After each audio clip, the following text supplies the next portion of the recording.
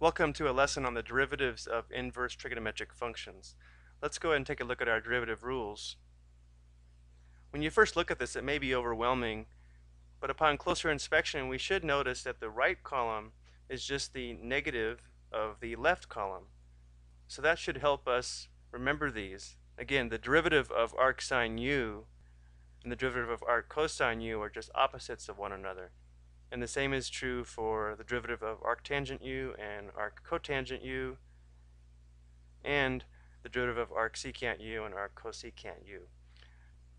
But let's see if we can derive at least one of these before we do some examples. Remember that the arc arcsine function is the inverse of the sine function. If we start with y equals sine x and want to find the inverse function, the procedure is to interchange the x and the y variables and then solve for y.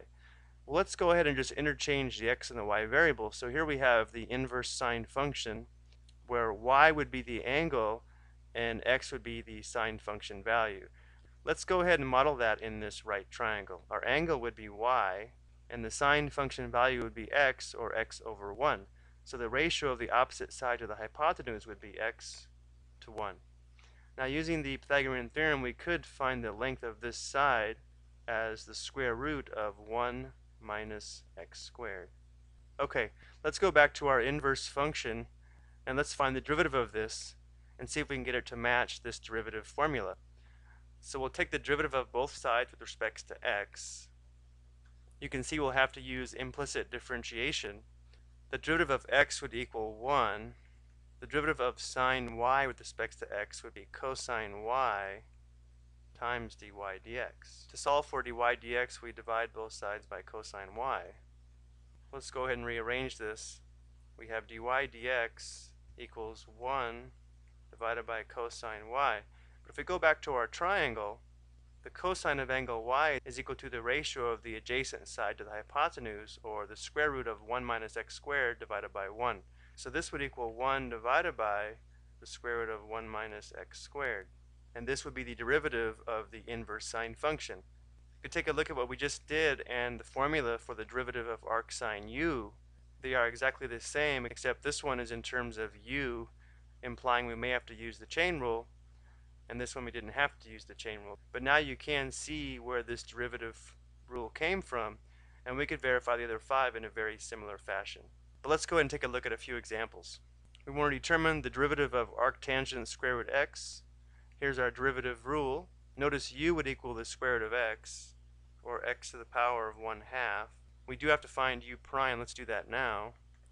u prime would be 1 half times x to the power of 1 half minus 1, or negative 1 half.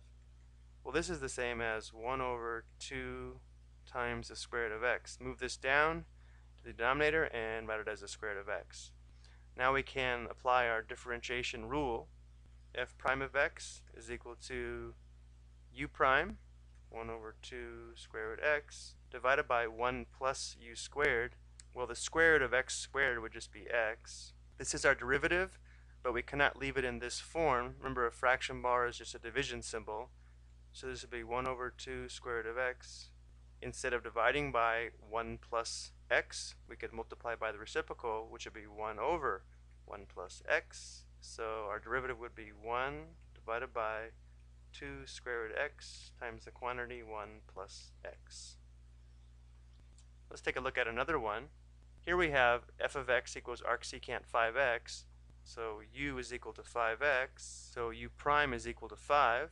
So f prime of x is equal to u prime, which would be 5, divided by the absolute value of u, absolute value of 5x, times the square root u squared minus 1. u squared would be 25x squared minus 1. Now we can simplify this a little bit further. This is a positive 5 inside the absolute value symbol. If we factor this 5 out, it's still going to be positive. Therefore, we can simplify this factor of 5 with this factor of 5. Notice the x still stays inside the absolute value. So we would have 1 divided by the square root of x times the square root of 25x squared minus 1. Now, don't be tempted to simplify this. This is a difference of squares where it would factor into 5x plus 1 and 5x minus 1. So we don't have two equal factors here. So this is as simplified as we can get it. So now we have f of x equals 2 times the arc cosine of x over 3. So u is equal to x divided by 3, or we could think of this as 1 third x. So u prime equals 1 third. Here's our derivative rule. So f prime of x equals negative u prime, so negative one third, divided by the square root of 1 minus u squared. 1 minus u squared would be x squared over 3 squared, or x squared over 9.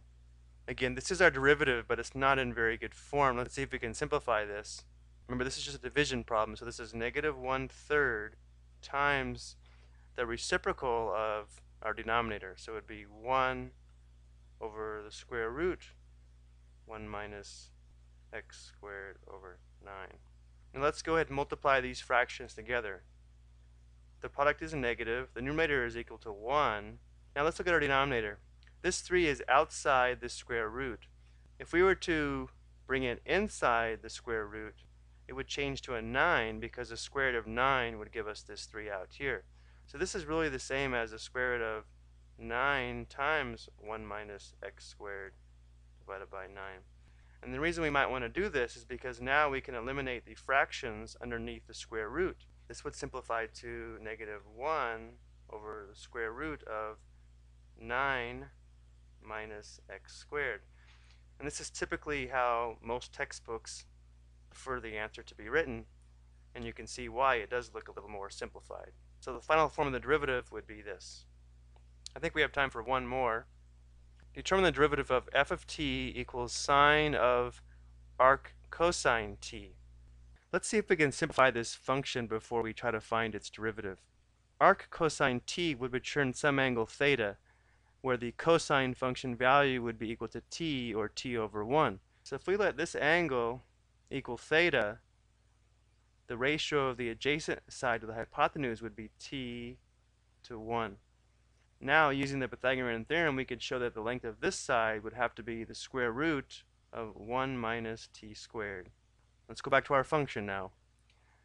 Arc cosine t returns some angle theta, and now we want to find the sine of angle theta. Well, the sine of angle theta would be the ratio of the opposite side to the hypotenuse, or the square root of 1 minus t squared to 1, which means that this function f of t is really just the sine of that angle, which would be the square root of 1 minus t squared. So now we can find the derivative of this function rather than the derivative of this composite function involving an inverse trig function. To do that, we would probably want to rewrite this as f of t equals the quantity 1 minus t squared to the 1 half power. So to find the derivative of this, we'll apply the power rule with the chain rule. So the derivative of the outer function would be 1 half, there's our u to the 1 half minus 1, that'd be negative 1 half, times u prime, well this is our u, so it would be negative 2t. Now we'll simplify, this 2 and this 2 simplify, and so our derivative is equal to negative, t would be in the numerator, and this would be in the denominator, so we'd have the square root of 1 minus t squared.